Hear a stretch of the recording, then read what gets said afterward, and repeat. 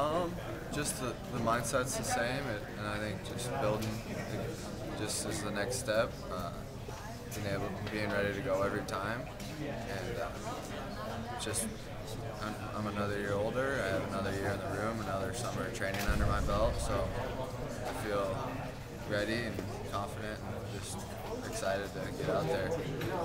This, has this seemed like it may be a long time coming to finally get in there and beat?